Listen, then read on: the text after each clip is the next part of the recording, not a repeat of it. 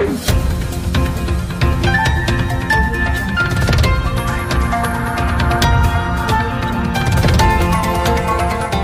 देख रहे हैं मगरा न्यूज़ राजस्थान, खबरें सबसे तेज।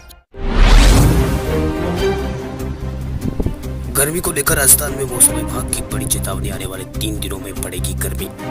राजस्थान में रेगिस्तान में तापमान शुरू हो गई है। पश्चिमी राजस्थान के अधिकांश जिलों में भीषण गर्मी पड़ रही है। तापमान चालीस डिग्री को छू गया है।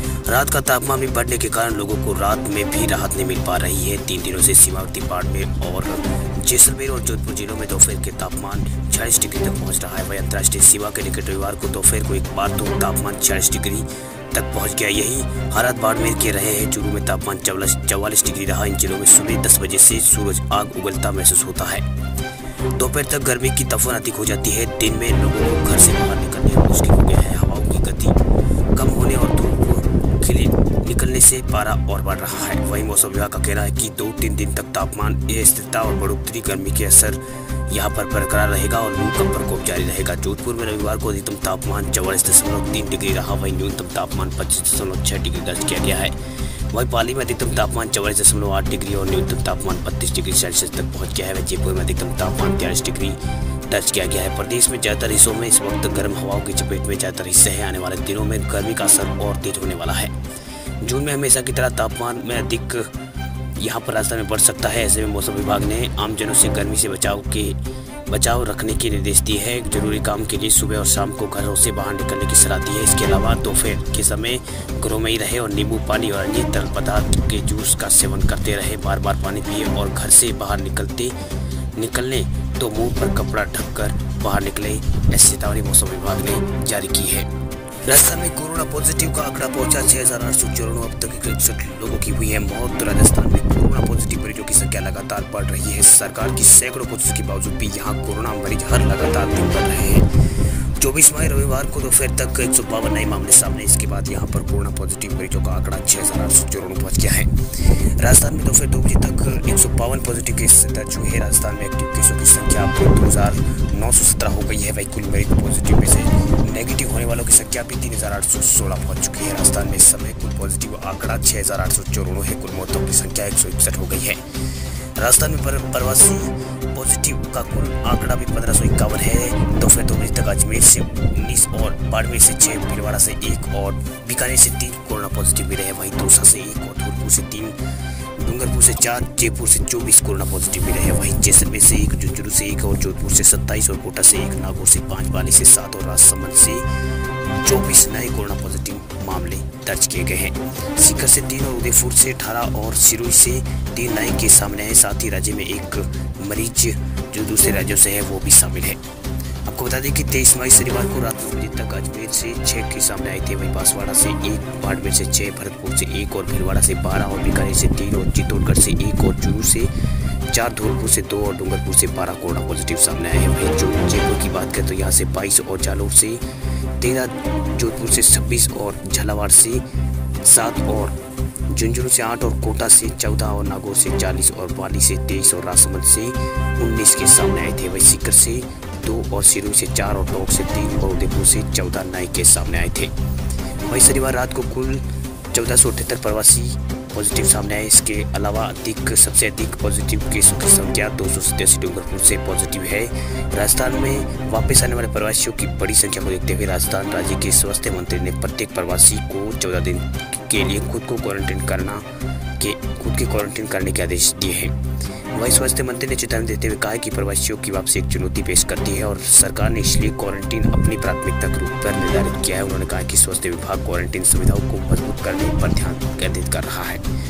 वही राज्य मंत्री ने स्थानीय प्रतिनिधियों से आग्रह किया कि वे सुनिश्चित करें कि उनके संबंधित क्षेत्रों में पर्याप्त सुविधाएँ हों। राजस्थान सरकार क्षेत्र ब्लॉकों में खोलेगी अंग्रेज़ी मीडियम, महात्मा गांधी विद्यालय। राजस्थान के सुख गहलोत सरकार ने प्रदेश के क्षेत्र ब्लॉकों में महात्मा गांधी अंग्रेज़ी माध्यम स्कूल खोलने का निश्चय किया है। यह निश्चय प्रदेश की सरकार के मुताबिक तैतीस महात्मा गांधी राज्य के अंग्रेज़ी माध्यमिक विद्यालयों पर अपार सफलता के बाद लिया गया है। वही क्षेत्र ब्लॉकों में Mahatma Gandhi English medium school के आदेश जारी किए गए हैं। प्रदेश के शिक्षा मंत्री गोविंद सिंह डोटासरा के मुताबिक शेष ब्लॉकों में भी स्कूलें खोलने के लिए आदेश शीघ्र ही जारी करेंगे। राज्य सरकार में शिक्षा राज्य मंत्री गोविंद सिंह डोटासरा ने एक ट्वीट में कहा कि एक ब्लॉकों में जहाँ स्वामी विवेकानंद मॉडल स्कूल नहीं है, उनमें छिहत्तर ब्लॉकों में Mahatma Gandhi English medium school खोलने के आदेश जारी कर दिए गए हैं और शेष ब्लॉकों के लिए भी शीघ्र आदेश जारी करेंगे वहीं शिक्षा राज्य मंत्री गोविंद सिंह डोटासरा ने ट्वीट में कहा कि प्रदेश में स्थापित तैतीस महात्मा गांधी राज्य के अंग्रेज़ी माध्यम स्कूल की अपार सफलता के बाद सरकार ने एक ब्लॉक, जहाँ स्वामी विवेकानंद मॉडल स्कूल नहीं है, वहाँ पर छिहत्तर ब्लॉकों में Mahatma Gandhi English medium school के आदेश जारी किए हैं। शेष ब्लॉकों में शीघ्र आदेश जारी होगा। लॉकडाउन में राजस्थान पुलिस ने बनाया नया रिकॉर्ड, छह करोड़ से ज़्यादा की वसूली।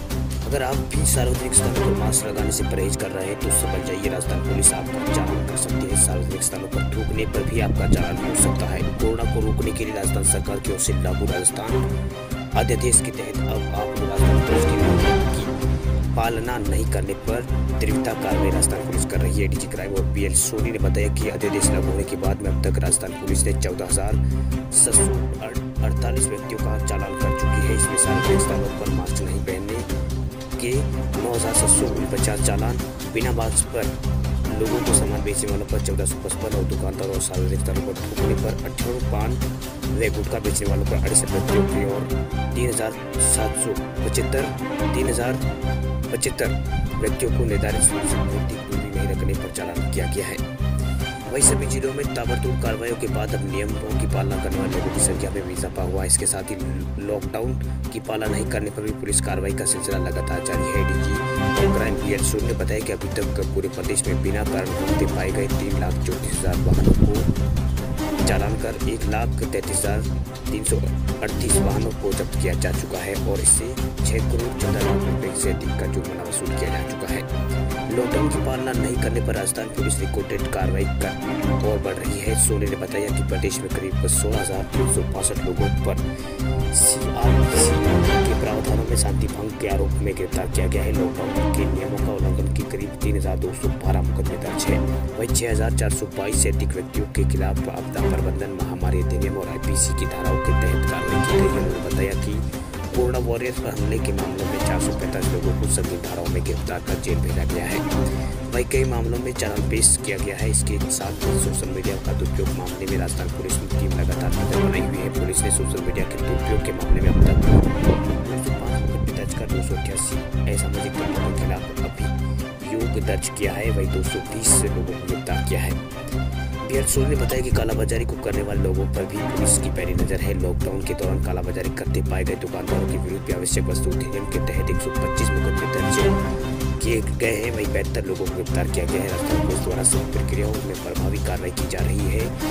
ADG PL crime PL Soni ने बताया कि आमजन से अपील है कि वे सभी लॉकडाउन के चौथे चरण के नियमों की पालना करें और बिना मास्क लगाकर बाहर न निकले। सोशल डिस्टेंसिंग की पालना पालन करें और एक दूसरे का ध्यान रखें, एक दूसरे का हौसला बढ़ाएँ और डॉक्टर और मेडिकल की टीम कोरोना वॉरियर्स जो हम सबको बचाने में लगे हैं, उनका भी सम्मान करें।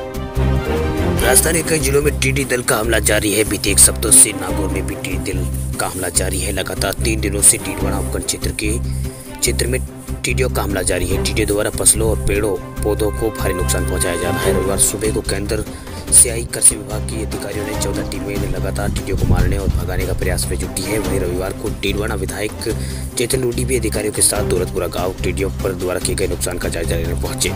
विधायक डूडी ने केंद्र से आई टीमों के अधिकारियों से मुलाकात की और जानकारी और क्षेत्र के मौका मुआयना भी किया। वहीं प्रदेश के कृषि मंत्री लालचंद कटारिया से फ़ोन पर बातचीत कर यहाँ कर्मचारियों को स्थानांतरण पर रोक और नुकसान की आशंका के मद्देनजर कर्मचारियों की संख्या बढ़ाने की मांग भी की गई है। डूडी ने मौके पर पहुँचे कृषि अधिकारियों से आंकलन करवाने के आवश्यक निर्देश भी दिए। वहीं डूडी ने टीडीओ को लेकर जिला कलेक्टर से वार्ता कर क्षेत्र में टीडी नियंत्रण को लेकर चर्चा की। राजस्थान बोर्ड की परीक्षा तिथियाँ अभी तक नहीं हो चुका है। ऐलान राजस्थान सरकार ने मई के पहले सप्ते में ऐलान किया था कि सीबीएसई की परीक्षाओं के साथ ही राजस्थान शिक्षा विभाग भी तारीखों को तय करेगा, लेकिन दसवीं और बारहवीं की परीक्षा को लेकर अभी तक तो कोई तारीखों का ऐलान नहीं हुआ है। Rajasthan board of secretary education Ajmer ने अभी तक दसवीं और बारहवीं की परीक्षा की शेष परीक्षाओं को आयोजित कराने की तारीख का ऐलान नहीं किया। इसकी वजह प्रदेश में स्टूडेंट एच की स्थिति में है। राजस्थान सरकार ने महीने के पहले सप्ताह में ऐलान किया था कि सीबीएसई की परीक्षा के हिसाब से राजस्थान शिक्षा विभाग तारीख तय करेगा। सीबीएसई की परीक्षा मई के दूसरे सप्ताह में शेष परीक्षाओं को तिथि जारी कर दी है, लेकिन राजस्थान बोर्ड की ओर से इस बारे में छात्रों को अभी तक कोई सूचना नहीं दी गई है, न ही कोई परीक्षा की तिथि जारी की गई है। कुछ समय पहले राज्य शिक्षा मंत्री गोविंद सिंह डोटासरा ने कहा था कि शेष परीक्षाओं के बारे में सत्रह मई के बाद फैसला लिया जा सकता है, लेकिन इस पर अभी तक इससे स्थिति जिसकी तस बनी हुई है। इसके कारण राज्य में दसवीं और बारहवीं के स्टूडेंट परेशान हैं। उनको साल खराब होने का डर सता रहा है। माना जा रहा है कि राज्य में बढ़ती कोरोना संकट को लेकर सरकार को परीक्षाओं के बारे में पैसा लेने में देरी हो रही है। वहीं सीबीएसई की बारहवीं की परीक्षा शेष परीक्षा एक जुलाई से पंद्रह जुलाई के बीच कराने की डेट जारी हो चुकी है। कुछ दिन पहले राजस्थान बोर्ड के अधिकारियों ने स्थानीय मीडिया से बताया था कि शेष परीक्षा आयोजित कराने के लिए बीस दिन में ही रिज़ल्ट जारी कर दिया जाएगा, लेकिन अभी तक शेष परीक्षाओं की डेट से जारी नहीं हुई है। रिज़ल्ट की बात करना बेमानी होगी। ऐसे में आशंका है कि राजस्थान बोर्ड दसवीं और बारहवीं कक्षा का रिज़ल्ट शायद जून के अंत तक भी ना आ पाए। उम्मीद है कि राजस्थान बोर्ड अगले एक सप्ताह में शेष परीक्षाओं की डेट से जारी कर देगा। इससे जल्द से जल्द परीक्षा शुरू हो सके। वही राजस्थान बोर्ड की बारहवीं की भूगोल और मनोविज्ञान गणित में आई टी गृह विज्ञान और संस्कृत साहित्य, व्यवसाय अध्ययन और चित्रकला और अंग्रेज़ी साहित्य, अन्य कुछ विषयों की परीक्षाएँ बाकी है। वही राजस्थान बोर्ड की दसवीं की परीक्षा में गणित सामाजिक विज्ञान और आई टी कृषि के कुछ अन्य विषयों की परीक्षाएँ बची हुई है।